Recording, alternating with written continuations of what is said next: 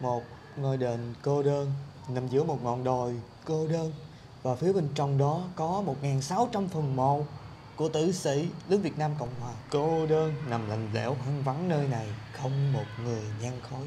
Và đó là lý do của cái chuyến hành trình ngày hôm nay của Nhật Nam TV cùng sư thầy Nhật Trung đi đến đền tử sĩ thuộc Nghĩa Trang Bình An, Dĩ An, Bình Dương.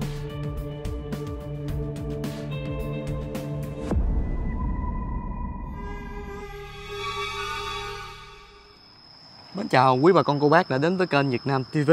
Hiện tại lúc này tôi đang có mặt ở đền Tử Sĩ thuộc Nghĩa Trang Nhân dân Bình An. À, theo nguồn thông tin mà Việt Nam TV được biết thì Nghĩa Trang Nhân dân Bình An còn được gọi tắt là Nghĩa Trang Bình An à, thuộc là Nghĩa Địa Bình An là một trong những nghĩa trang công tọa lạc tại phường Bình An, thành phố Dĩ An, tỉnh Bình Dương. Trước năm 1975, đây là một nghĩa trang quân đội thuộc quản lý của quân lực Việt Nam Cộng Hòa, thường được biết đến với tên gọi là Nghĩa trang quân đội Biên Hòa. Nơi đây từng chôn cất khoảng 16.000 tử sĩ của quân lực Việt Nam Cộng Hòa, chủ yếu trong hai cuộc chiến trường đẫm máu khốc liệt nhất lịch sử như là sự kiện Tết Mậu Thân và chiến dịch dịch Xuân Hè năm 1972. Sau này, à, sau 30 tháng 4 năm 1975, Nghĩa trang này đặt dưới sự quản lý của quân khu 7 Bộ Quốc phòng. Nhiều năm bị bỏ hoang phế do không có người trông coi và là chịu trách nhiệm. Cuối năm 2006, chính phủ Việt Nam đã chuyển giao quyền quản lý từ quân sự sang dân sự đó là một quyết định được dư luận đánh giá như là một bước đi đầy ý nghĩa của chính phủ trong công cuộc hòa giải, hòa hợp dân tộc. Và vâng thưa quý vị khán giả, ngày hôm nay với sự đồng hành của sư thầy Nhật Trung à, Tình hình là như thế này nè thưa cả nhà. Thì à, uh, thầy Nhật Trung có một cái chuyến uh, công tác làm việc và trị bệnh ở khu vực thành phố Hồ Chí Minh. Và nhân tiện khi mà ghé cái khu vực này thì uh, sư thầy muốn là có một chuyến ghé thăm đến đền tử sĩ để là thắp những cái nén hương ở cái khu vực ngôi đền này. Thì uh, sau đây mời uh, thầy ạ. Mô phật ừ ngày nay ngày đầu tiên ở thành phố Hồ Chí Minh. Dạ. Ồ. Khi mà bước vào á, thì à, quý khán giả có thể thấy cái hình ảnh khá quen thuộc đối với những cái cô chú anh chị nào đã từng tới từng thắp những cái nén hương và từng biết về cái đền tử sĩ này. Đó là cái cổng chào rất là bề thế uy nghiêm. À, thầy đã lần nào ghé tới cái đền à, tử sĩ này chưa thưa thầy? Chưa con lần đầu tiên à, à. luôn tiện đi trên à, đoạn đường này rồi con cũng giới thiệu thì thầy vào thầy thắp cho tất cả các uh, chiến sĩ uh, bên kia chiến tuyến trong thời kỳ chiến tranh nói chung lại thì ai cũng là con người hết do chiến tranh mà bị à, rất nhiều cái tư tưởng lý tưởng nó bất đồng nhưng mà con người vẫn có những cái tinh thần chung của dân tộc yeah. Dạ. thì hôm nay chúng ta là người thầy là người tu cho nên thầy lấy thắp nén nhang để cầu nguyện cho tất cả các à, cô chú chiến sĩ ở bên kia và cũng nhân lễ ở đây là đúng cái dịp 2 tháng 9 nữa cho nên mình vào mình thắp cho người ta nén nhang yeah. để dạ. tưởng nhớ đến linh hồn của họ a di đà phật Vâng thưa thầy thì uh, theo cái nguồn thông tin con được biết thì uh, cái khu vực này uh, thời gian trước rất là hoang vắng nhưng mà trong cái thời gian khoảng vừa đây á thì uh, cũng có uh, bà con cô bác lối sớm uh, gần gần đây lên là quét dọn uh, phát cỏ phát rác. Thực sự thì uh, nơi này dường như là bỏ hoang hoang phế và ít người lui tới và không có nhang khói. Ừ. Ngày hôm nay ờ, có một cái chuyến hành trình đốt những cái nén hương nơi này cũng thực sự ừ. là rất ý nghĩa. Rồi thì uh, bây giờ thầy vào trong uh, đền để đốt nén nhang và cầu nguyện cho cho họ để uh, được bình yên dạ. trong cái thế giới vô hình của họ. Mô a di đà phật. Ừ. quý bà con cô bác có thể thấy nếu ai đã từng theo dõi trên kênh Việt Nam TV hoặc là hóng biến 24 giờ thì quý vị khán giả không quá xa lạ với cái ngôi đền tử sĩ ở khu vực Dĩ An Bình Dương này. À, và cái quá khứ mà Nhật Nam biết được à, về nơi này. Trong một thời gian trước thì có một cái thiếu nữ tên Úc đã từng xuất hiện ở đây và làm cho quý cộng đồng mạng thực sự rất là bất ngờ. Bên cạnh đó, Nhật Nam à, cũng thường xuyên di chuyển lên khu vực này và mua vé số khi mà lên cúng kiến mua vé số thì cũng nói thật sự với quý vị khán giả là để trúng vé số ở đây à, rất là nhiều lần. Từ cái vị trí này nhìn lên phía bên trên đó thì à, cả nhà thấy cái cảm giác như thế nào? Lạnh lẽo và hoang phế đúng không cả nhà? Rất là may ở khu vực này à, thì à, trong cái thời gian gần đây được là sự quét dọn không biết là của cô chú anh chị hay là những cái à, ai đó. Chắc là họ họ vào đây thì họ mới là là quét dọn sạch sẽ và gọn gàng. Ơi một cái âm thanh gì đó. Quét dọn rất là sạch sẽ và gọn gàng tương tất nè cả nhà cây cỏ được dọn một cách là là rất là là là, là thoáng. Bên những cái bức tường thành đi lên đó thì uh, rong rêu nó tạo nên một cái màu xanh xanh cũng khá là u ám nhưng mà nói chung là nhìn chung là cũng khá là đẹp.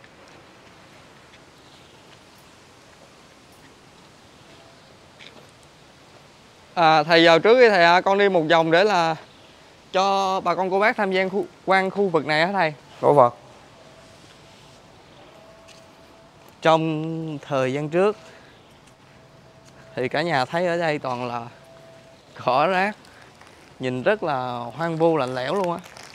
Nhưng mà trong cái thời gian à, ngày hôm nay quay lại thì rất là mừng vì nơi này cũng khá là khang trang. Khang trang theo một cái cách nghĩa gọi là là được là quét dọn được là chăm chút.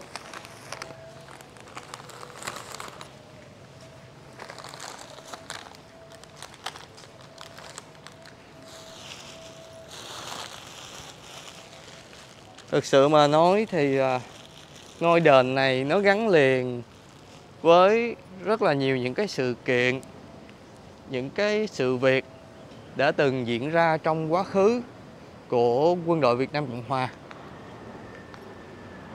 nói đúng ra đây là một cái ngôi đền cực kỳ linh thiêng của những tử sĩ trong thời gian trước năm 1975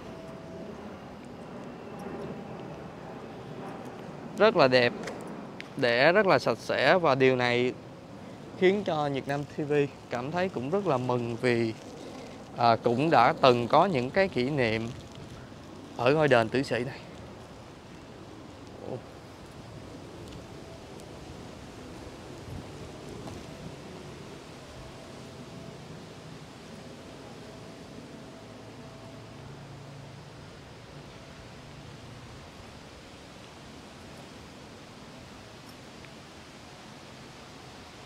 À, lúc này à, thầy Nhật Trung đang ở phía bên trong đó. Và dường như có một cái vẻ gì đó rất là bất thường. Không biết là như thế nào đó. Có thể là thầy đang cảm nhận một cái vấn đề à, gì đó ở cái khu vực này. Đây nè cả nhà.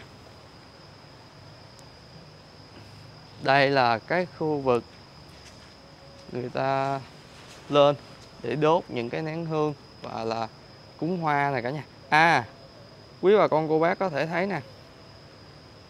Ở đây có những cái à, ở đây có những cái à, nén hương mới được đốt. Chắc là cách đây không lâu cả nha. Thời gian trước trên cái cây này có một cái tổ ong rất là ghê. Nhưng mà hiện tại chắc là đã là là là được khai phá. Ồ, ở đây là không phải là một cái ờ, cái đồ để để rác đâu mà lại để rác như thế này thì nó cũng không hợp lý. À, ở đây có cái chữ cối 82 à, và phía bên tay này của quý vị khán giả có thấy là có để cái chữ là trung đội. À, là cái phần à, được cúng kiến của trung đội cối 82 á cả nhà. Đó là theo cái tầm hiểu biết của Việt Nam thời gian trước khi mà di chuyển lên đây thì à, có rất là nhiều quý vị khán giả cảm thấy có cái điều gì đó trên cái gốc cây này. À, khi mà nhìn qua cái màn hình đó cả nhà. Mô phật. Mô phật. Thầy đã là đi một vòng để là tham quan khu vực Rồi, ờ, con. đền chưa thầy. Rồi đốt mấy cây nhang. À.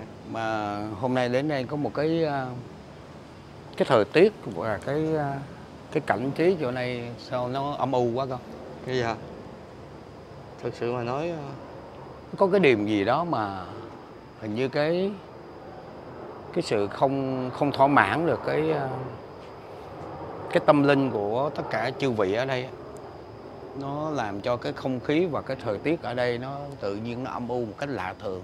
Ha. Mà hôm sau hôm nay à, thầy lại đến đây là đây nó lại có cái à, cái khung cảnh mà nó rất là là là là buồn.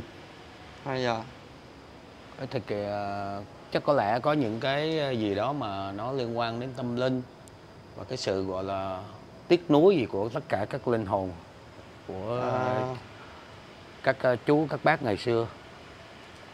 Ngày hôm nay thầy lên cái khu vực đền tử sĩ thuộc nghĩa trang bình an như thế này đó thì à, đã khá là tinh tất và được cô chú anh chị dọn dẹp rất là là sạch sẽ đây. Ừ, mô phật. Chứ à, thực sự mà đúng ra trong cái thời gian trước khoảng à, một năm trở lại trước đó ừ, thì à, khi mà lên đây á, cảm thấy nó lạnh lẽo và cây cối thực sự là rất là là là là gọi là hoang tàn luôn ừ, ừ. nói chung là bỏ hoang đó. Vâng. Rồi sau này được cái lòng dân người ta cũng có cái chút lòng lòng thành người ta phát quan chỗ này sửa soạn lại cũng sạch sẽ ha. Dạ nhìn chung thì con cũng cảm thấy à, mặc dù là ở chế độ cũ nhưng mà dù gì cũng là cũng mình đừng có nói chế độ gì cả mình Dạ. nói con người thôi. Tất cả là con người hết tất cả là nhân nhân sinh này hết. Cho nên bây giờ mình không có ở chế độ nào trong một cái ờ, đất nước đã hòa bình. Và hôm nay nó được cái duyên là đúng cái ngày lễ rồi thầy lại vào thành phố rồi con dắt đến nơi này để thầy thắp nén nhang để cầu nguyện cho tất cả linh hồn Dạ. của dạ. những con người đã nằm xuống nằm xuống trong à, hai cuộc kháng chiến bên kia chiến tuyến. Thì à, mới bên nãy giờ nó thật ra toàn bộ thân thầy đó nó run bằng bật vậy nó rất là khó khó chịu. Một cái cảm giác gần như tất cả những người mà được thờ tự ở đây đó họ quấn quýt về ở nơi này rất là đông trong những ngày như thế này. Không biết là mình có cái duyên gì mà các chú các bác các uh, linh hồn của thế hệ trước đã nằm xuống mà được thờ tự ở đây là cảm ứng rất là mạnh ở trong cái ờ, tâm linh của chính thầy. Chắc có lẽ thầy vào thầy thêm một lần nữa để thầy ờ, thắp lên nén nhang dạ. Thầy chú nguyện nha. Mật ong rừng xịt này cả nhà rất là kẹo có ga nha. Nước cốt nhào. Thì đau nhức nhức mỏi xương khớp huyết áp cao mất ngủ. Nếu mà quý bà con nào cần hãy liên hệ trực tiếp với Nhật Nam qua số điện thoại trên màn hình. Cảm ơn quý vị. Vọng thôi chứ Ồ, thầy con cũng xin tiết phép tiết lộ cho thầy một cái điều như thế này ừ.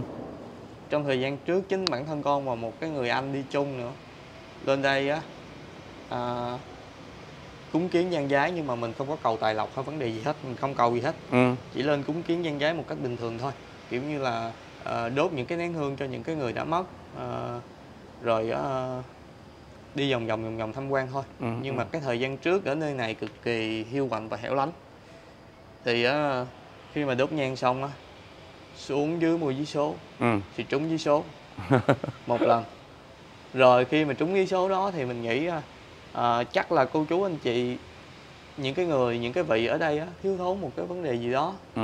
về vấn đề tâm linh tại vì mình đi quay về vấn đề tâm linh mình cũng phải tin Ừ. Ừ. Ừ. thì à, mình dùng cái tiền đó mình mua tất cả bánh trái này kia kia nọ nha để lên Ừ, tiếp ừ. tục là cúng khi mà cúng xong lần thứ hai đó thì xuống mua giấy số lại tiếp tục trúng Ừ. rồi mình lại lặp lại cái hành động đó một lần nữa Ừ. tại vì ờ, thực sự mình cũng chưa có phải là là tin lắm về cái sự việc như vậy Ừ. rồi á lặp lại cái sự việc đó một lần nữa và tiếp tục trúng giấy số Ừ. và có nghĩa là con để trúng giấy số khi mà lên thắp hương à, gian giái không Ừ. cầu xin tài lộc gì ở khu vực này ừ. ở cái đền tử sĩ này ba lần à, di đà phật và con có thể sư thầy đi một vòng ở đây ở phía trước của ngôi đền này có rất là nhiều người tới để là cầu cơ xin số gì Ừ. nãy giờ à nãy giờ em chưa dẫn quý vị khán giả di chuyển vào phía bên trong nhưng mà hiện tại bây giờ phía bên trong đó cũng rất là trang nghiêm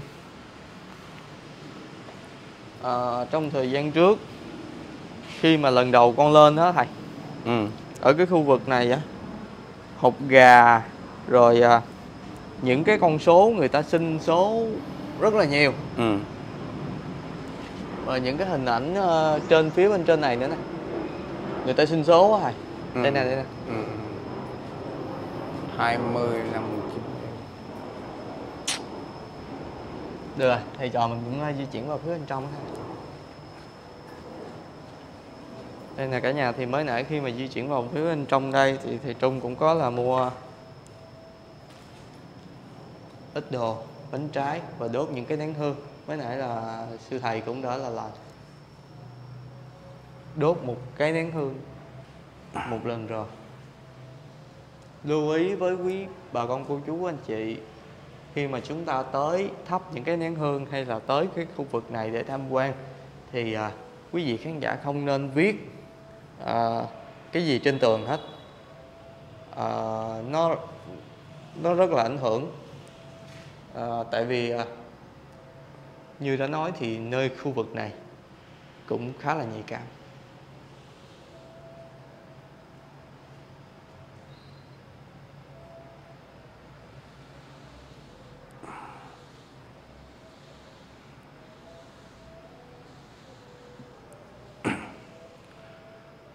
Nam mô A Di Đà Phật. Nam mô A Di Đà Phật. Nam mô A Di Đà Phật.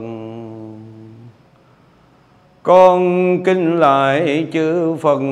Pháp Tăng mười phương. Pháp giới chư vị hiền thánh. Chư vị thần linh xá trạch thổ địa thần hoàng.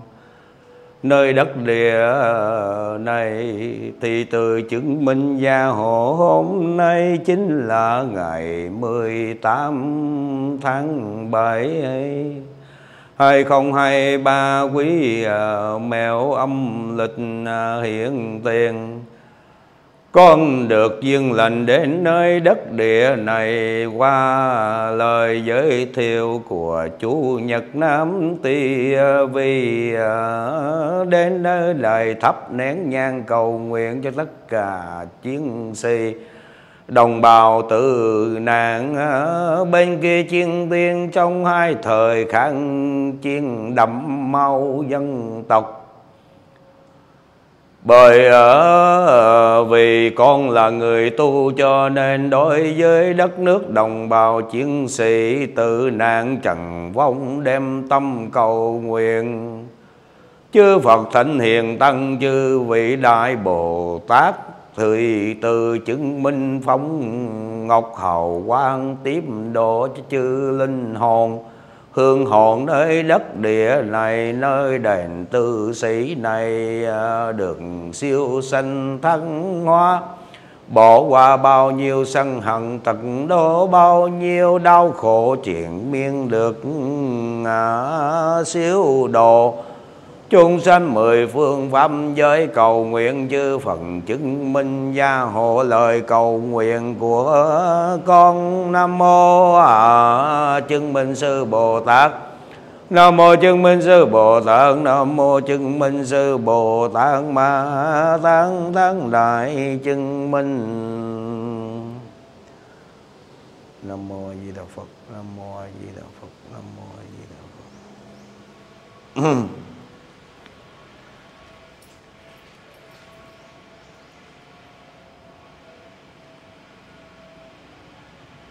có một cái đồng tĩnh gì đó khiến ờ, sư thầy Nhật Trung Tần Hán và Nhật Nam nghĩ đâu đó là bắt chợt được một cái khoảnh khắc gì đó thú vị.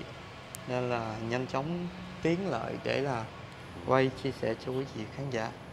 Thì à, như sư thầy đã chia sẻ thì à, có một cái duyên lành. Thì à, Việt Nam cùng sư thầy mới có một cái chuyến hành trình tới khu vực này để đốt những cái à, nén hương cho là chư vị ở khu vực này. Và quý vị khán giả có thể thấy, ở đây có, ở đây có một cái bộ đồ à, cái này theo em đoán á cả nhà, thì có thể là nhìn thì chúng ta biết là giấy thùng này kia kia nọ rồi, nhưng mà có thể là là là là chỗ của một ai đó đang ẩn náu nương náu hoặc là trưa ghé qua đây để là ngủ nghỉ trưa. À, có thể là một anh bợm nhậu. Tại vì ở đây á à, ở đây á còn lại một chai rượu nè cả nhà. Còn một khúc của chai rượu nè. Có thể một anh nào đó à, vô gia cư đang là nương náu ở đây.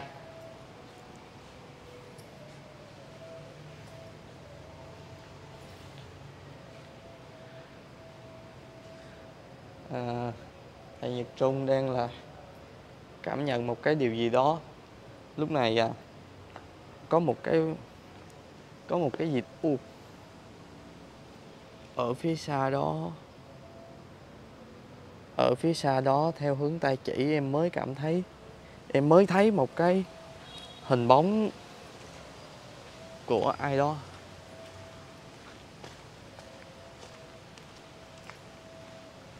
Lấp lén lên là nhìn em cả nhà. Đây nè, em mới thấy đây luôn nè. Em mới thấy sau cái cột đá này nè, em lật đật di chuyển lại để quay chia sẻ cho cả nhà nè. Và lúc này chúng ta không có thấy ai ở đây. Không biết có ai núp ở dưới này không? Ai vậy? Không có ai cả nha. Em mới vừa thấy khi mà bước ra em tịnh tính di chuyển lại phía bên kia để là cho quý vị khán giả thấy một cái điều gì mới ở phía bên đây nhưng mà không thấy ai hết. Ở cái tảng đá này à, cái bức tường này cái cây cột này có một cái hình thù gì đó rất tâm linh và cả nhà nghĩ như thế nào về cái hình dáng của cái cây cột này? Hãy để lại bình luận giúp giúp Việt Nam TV bên cạnh đó thì, ô, những cái âm thanh gì đó liên tục phát ra. Em mới thấy đứng ở ngay chỗ này nè. Em mới lật đật chạy tới nè cả nhà. Chỉ thấy cái phần à, từ cái phần mình trở lên thôi. Ô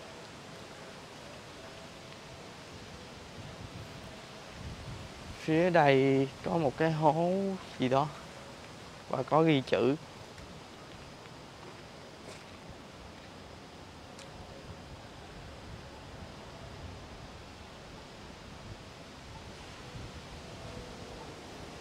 Nghiêm cấm phá hoại.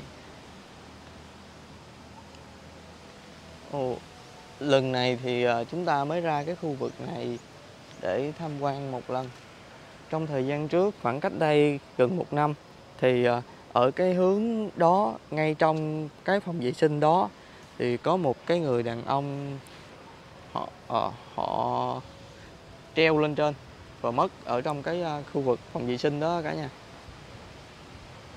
Khoảng thời gian hơn một năm trước. Và ngay cái cổng ra. Ồ. cái gì đó. Không biết làm sao mà những cái cành cây từ phía bên trên đó rớt xuống khu vực một cách lụi đùi lụi đùi à. Và không có thấy cái dấu hiệu gì đó của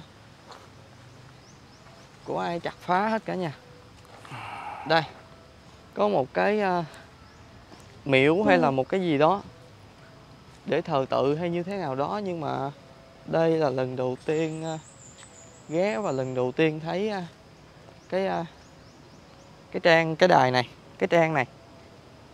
À có nhang luôn nè cả nhà. Vậy chứng tỏ à, nơi này mới có người vào phía bên trong đây khoảng hơn tầm một tiếng thôi. Tại vì nhang cháy mới có một nửa nè cả nhà thấy không? Ở cái góc nhìn này thì quý vị khán giả cũng có thể thấy được cái quan cảnh của ngôi đền. Phía bên trên kia rong rêu mọc rất là nhiều. Và đây những cái cây xà cừ này quý khán giả có thể một, một cái âm thanh gì đó. Uh,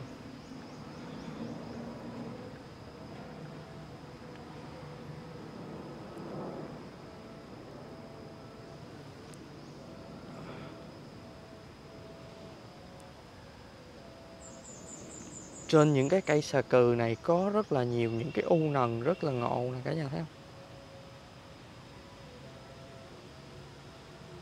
Rất là nhiều những cái u nần tương tự như vậy.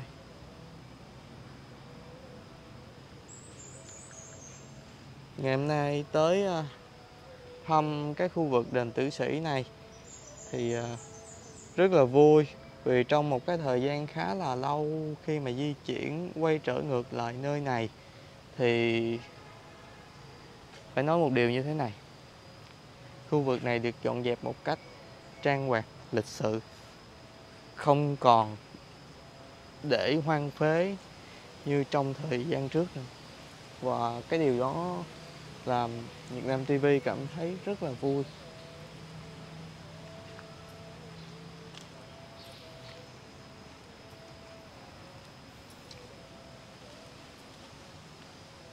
Mô Phật. Cô Phật con chào thầy. À, quý thầy thấy như thế nào khi mà có một cái chuyến hành trình để là đốt những cái nén hương cho những cái vị tử sĩ ở trong ngôi đền này thưa quý thầy? Thầy à, có một cái cảm nhận á, cái sự à, nuối tiếc và tiếc thương rất là lớn ở cái khu vực này về tâm linh. Thầy đang cảm cảm cảm xúc cùng với họ, cảm nhận chung cái nỗi đau của họ. Và thầy cũng ờ, dùng cái tâm để chú nguyện rồi tất cả các chư vị mà còn những cái tâm, những cái linh mà người ta còn đau thương và ức ức hẹn như vậy đó, được ờ, nương nhờ vào hồng quang của chư Phật để siêu sanh thoát hóa. Chứ giờ mình cũng không biết làm sao mà để nói cho hết cái nỗi lòng của tất cả những cái linh hồn. Nó đau khổ cùng cực luôn. Thầy không biết là cái chuyện của gia đình họ, thân bằng, quyến thuộc, họ có làm những cái lễ nghi theo ờ, tôn giáo tâm linh gì không để cho họ được siêu sanh thoát khóa hay không? Nhưng mà vào đây thì cái cái sự ờ, cảm nhận tâm linh nó nặng nề, khủng khiếp. Nó ờ, hình như nó nguyên một cái khu vực này nó bị ảnh hưởng bởi cái tâm linh. Nó, thầy mà cứ cứ thế là nổi da gà và giận giận giận giận gái à vâng đây là một cái khu vực một ngôi đền thực sự là linh thiêng được rất là nhiều kiều bào ở nước ngoài ừ. họ quan tâm tới. Ờ, những cái bà con thân thích bạn bè ngày xưa đó ừ ừ. thì họ cũng rất là quan tâm đến nơi này muốn xem cái tình hình của cái ngôi đền tử sĩ hiện tại bây giờ ra sao. Dù gì thì ờ, đó cũng là một cái kỷ niệm hoặc là một cái ờ, dấu son lịch sử của quá khứ của họ. Nên là ngày hôm nay con muốn là ờ, rủ thầy tới đây trước là đốt những cái nén hương cho những cái vị vong Ừ. linh ở ngôi đền tử sĩ này. Và bên cạnh đó thì cũng quay cho quý vị khán giả ở hải ngoại xem cái tình trạng khá là tuyệt vời của ngôi đền này lúc bây giờ ở đây. hôm nay là khang trang rồi ha. Dạ. sạch sẽ quá rồi đó chứ. Sạch sẽ dường như là có cái người nào đó hoặc là có một cái nhân vật nào đó thường xuyên tới là để dọn dẹp ở khu vực này. Nếu không thì chắc chắn một điều là sẽ không được là là, là à, Chắc sạch đó. sẽ như thế này đâu. Cái tâm của người ta cũng lớn đó. Dạ. Nói chung lại là cái vấn đề tâm linh ở đây á là cục nó quy tụ lại á theo sự cảm nhận của thầy là một nỗi niềm. Thì cũng nên có những lần viếng thăm và thắp cho quyến thuộc mình những nén nhang. Mặc dù họ, mình không thấy họ, nhưng ở đâu đó, ở đâu đó trong cái vùng đất này, ở đâu đó trong những cái nơi mà người ta ngã xuống, người ta vẫn cần đến cái sự à, để ý của quyến thuộc và người thân bằng quyến thuộc của họ để cầu nguyện cho họ được giải tỏa ra khỏi cái nỗi niềm đau thương mất mát mà chưa có đâu đó cũng có rồi nhưng mà cũng chưa có thấm vào đâu đối với cái tâm linh của họ. A di đà phật thầy cũng mong mỏi trên cộng đồng mạng đó. Những người quyến thuộc của những cái à, người mà đã nằm xuống ở bên kia chiến tuyến cũng à, có chút lòng hướng về và cầu nguyện cho tất cả được bình yên được siêu sanh thoát hóa được chuyển tiếp.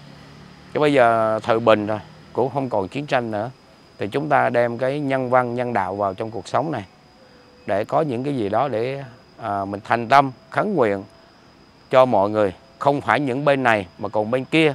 Bên chiến tuyến kia rồi bên chiến tuyến này. Đồng bào tử nạn quy chung lại là như vậy. Chiến sĩ đồng bào tử nạn là quy chung lại không nói bên nào cả. Dạ. Đó là những cái linh hồn người ta uẩn khúc nơi này rất là nặng nề đó. Còn à, nếu mà thực sự mình thì quay mình không thấy đâu.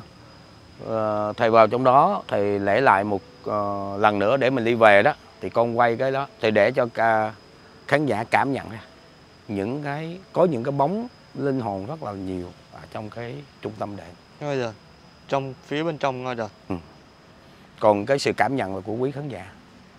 Đúng không? nhưng mà con nghĩ là khi mà mình quay thì camera không thể nào bắt được những cái hình ảnh đó thầy nói chung là cái chuyện này thì mình chưa biết. Chưa biết.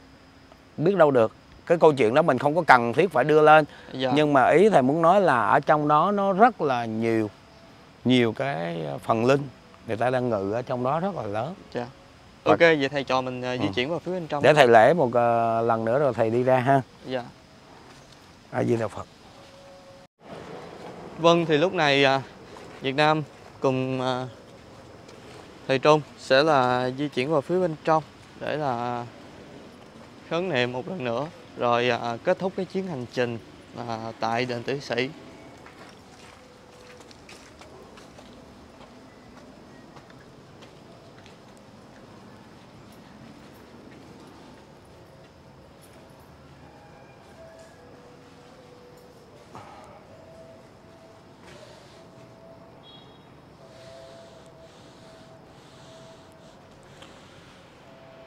nam mô khấn nguyện cùng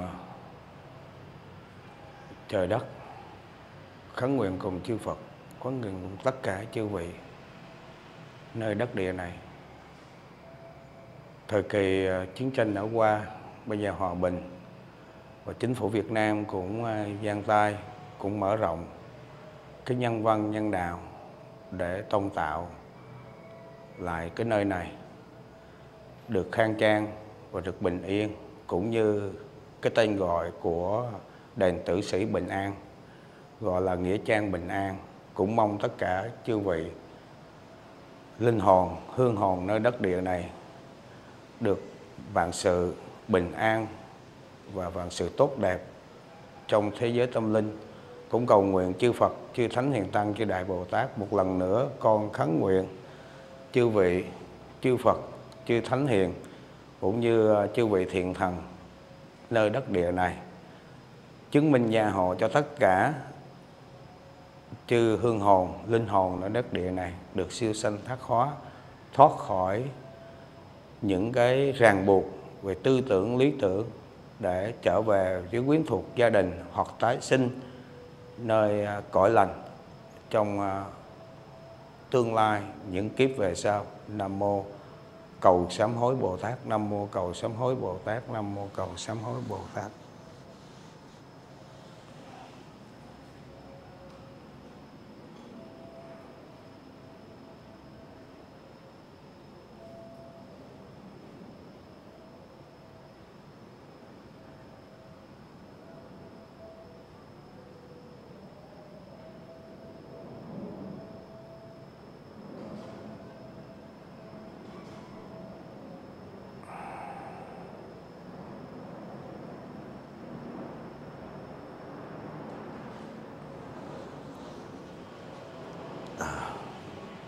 Thôi, bây giờ A Di Đà Phật rồi Ờ. thầy trò mình đi xuống ha.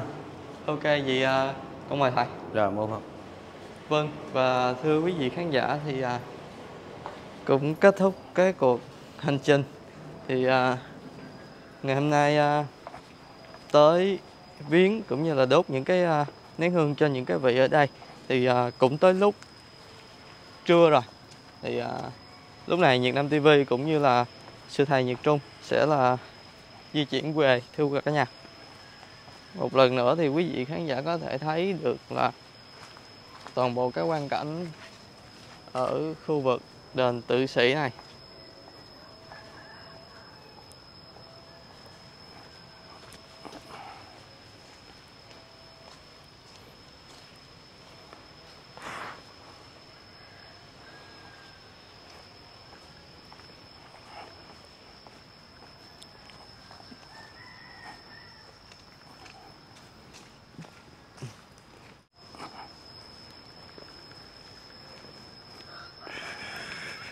Vâng và thưa quý vị khán giả thân mến thì à, quý vị khán giả nghĩ như thế nào về một cái chuyến hành trình tới một cái nơi gọi là thực sự mà nói là là linh thiêng và trang nghiêm như thế này. Bố Phật. Bố Lúc này có lẽ là con cũng xin phép kết thúc lại cái video cũng như là chào quý vị khán giả à, quý thầy ạ. Mô Phật. Rồi xin ờ, kính chào tất cả các quý vị khán giả. Dạ. À, vâng thưa quý vị khán giả thân mến thì Nhật Nam cũng sẽ kết thúc cái video tại đây. Một lần nữa cho phép em gửi lời chào trân trọng và hẹn gặp lại tất cả quý vị khán giả ở những video tiếp theo trên kênh nha, thưa cả nhà.